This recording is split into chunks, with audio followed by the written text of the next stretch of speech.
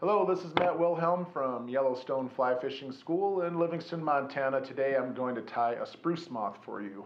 Uh, the pattern I'm going to tie today is a pattern that was developed by Bob Jacklin down in West Yellowstone, Montana. The reason I like this fly are a few reasons. Uh, for number one, it works great and it's easy to tie. It's highly visible. Um, and so I give Bob great credit for this fly and it's a fly I've been tying for a long time. And the spruce moths in Montana uh, usually come out, oh, in end of July, early August. Uh, they don't have any aquatic life cycle. Um, they're a, a, they're a native forest pest and they do find their way to the water. Uh, and when they hit the water, they don't like it. They flop around like crazy and the fish really go nuts for them. Uh, spruce moth fishing is one of my favorite times of the year.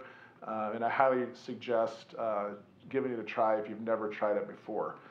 So, what we're going to use today for a hook, we're going to use a size 12 standard dry fly hook. You could also use a 14.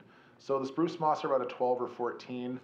Um, we're going to use some deer hair for the wing. We're going to use a ginger hackle um, for our hackle. Uh, we're going to use a cream colored dubbing. I'm going to use that one right there. Use a cream colored dubbing. You can also use any of these light colored dubbings that you'd like to use uh, as long as it's kind of a light creamish color. Thread, going to use a white thread. You could also use yellow. You could also use orange.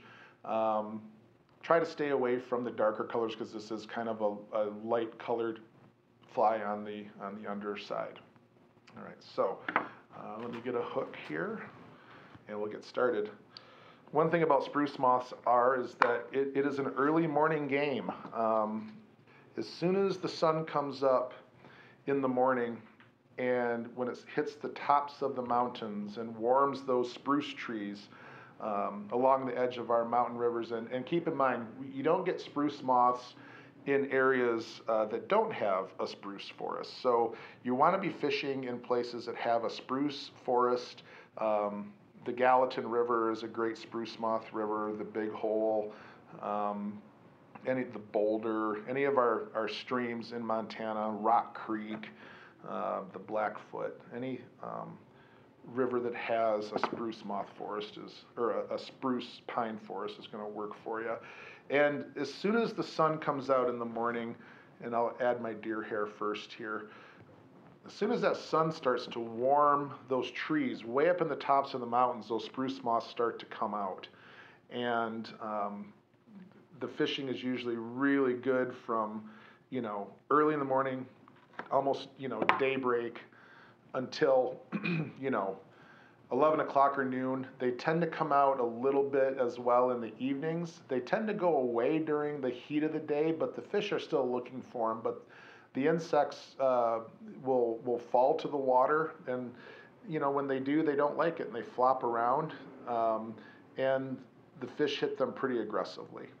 So what I've cut off here, I've cut off a chunk of deer hair, and when you're tie with deer hair, elk hair, you want your as it's relaxed in your hand, you want it to be about the gap of your hook. And I have a little bit too much here, so I'm going to take off just a little bit of this. There we go, just like that. So there, I'm right about to the gap of my hook. And I'm going to remove, give it a couple flicks back and forth to remove all of the under fur. If you leave that under fur in there, it could, it could sink the fly, it absorbs water. So you want to get that out of those, those butts. And I'm going to tap it a few times on the, in my hair stacker. Get all the tips evened up. And pull that stacker apart. All the tips are nice and even. And this is going to be what's called a pontoon body. And so what we're going to do is, is we have to have over the eye of the hook, this will eventually become the wing. This is going to get folded over. So you have to leave enough hanging over the eye of the hook to actually make your wing. So I leave about a hook length uh, over the eye of the hook. And we're going to tie this down right behind the eye with a loose wrap. And then we're going to continue down the shank of the hook with our thread, creating what's called this pontoon body, all the way down to the curve. And now, I'm gonna go back over that again to tie it down tighter, so, and it, so I also have less diameter, so it's not as chunky on the shank of the hook. Go over that a few times so it binds it down. And return back to the curve. Now, when I cut these butts off, I'm going to leave them, I'm gonna leave a little bit hanging off the back of the hook. Like that. Okay, so there's our pontoon body. Let me get rid of a couple of these little misbehaving hairs there. All right, so got that. So now we're going to tie in a hackle. And I'm going to take a ginger hackle.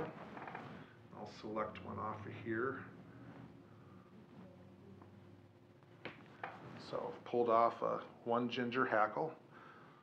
And when we tie in our hackle, I like to kind of rough out each side of the hackle and make a little cut on each side of the vein, leaving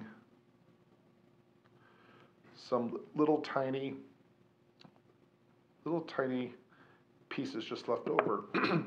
What's going to happen there when you tie that in, your thread is really going to lock into those and it won't pull out and you can use less thread wraps uh, to lock that material in, which is good for a dry fly. You don't want to use too much thread. All right. Another thing about this pontoon body is, is it really floats well. Um, these butts and this hair and the pontoon body on the hook allows it to float really well. I've got some cream dubbing here, and we're going to put a very thin dubbing layer on our thread because we don't want it to be too thick because we already have thickness from our uh, pontoon body, so we're going to just kind of dub a very thin layer of dubbing onto this thread. Maybe a little bit more down here, just enough to cover up that hair body. All right, very thin. Now, I'm going to start working this dubbing forward over top of the hair up to here like that. Now, when you hackle this fly, you can hackle it if you're fishing really fast water and you want it to be really buoyant. You can hackle it heavy if you're fishing, you know, rivers where it's not quite as swift. You can hackle them a little bit more sparsely. But we'll palmer this this hackle up the body.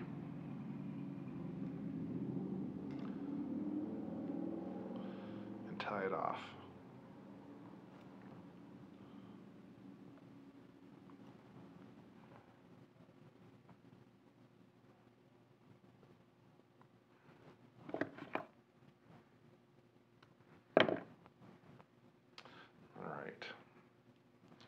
Now, I'm going to move my thread back just a little bit onto the body, and I'm going to make the bullet head. I'm going to pull the head, I'm going to pull the hair back and bring the thread around like this, creating what's called a bullet head, and put a few more wraps on there, just like that. I've got a misbehaving piece of deer hair right there, so we'll get rid of that. And then to finish the fly, I'm going to do a half hitch first, followed by a whip finish.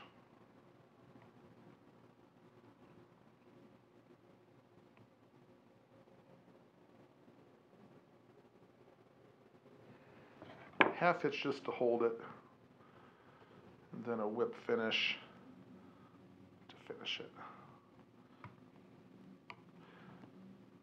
Another thing you can do with this, if you want to take some head cement, you can take head cement and treat the bullet head with a little bit of head cement to make it a little more durable. But as this fly stands as it is right now, it's a very durable fly. Um, it floats well, it's very visible, and it works well in our western streams during our spruce fly hatch. Thank you.